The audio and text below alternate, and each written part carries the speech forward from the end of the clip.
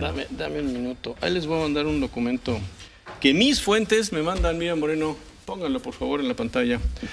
Departamento de Salud los Servicios del Estado de Texas.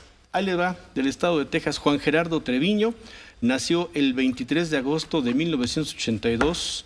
em, y por supuesto de padre mexicano, madre mexicana, ta, ta, ta, ta, ta, ta. Nació, los- está registrado como ciudadano estadounidense Ah, bueno. en el estado de Texas. Ahí está el acta de nacimiento, Ciro. Miriam, regresa al debate. ¿Algún comentario, en lo que tú aquí tirabas rollo, Manuel no solo consiguió la nota, sino el documento. Ahí está, ¿por qué lo entregaron a Estados Unidos? Nació en Laredo.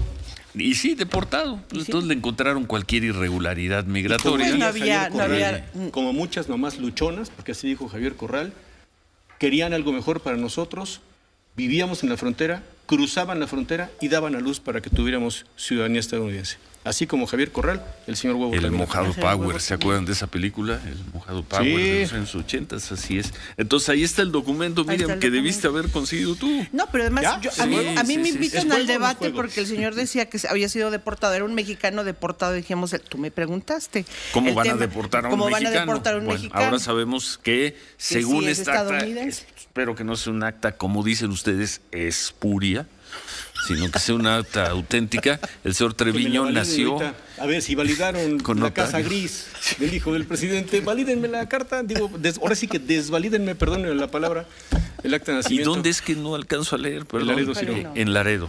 Ya la, En- ya la en tienes Laredo. ahí en tu WhatsApp. Bueno,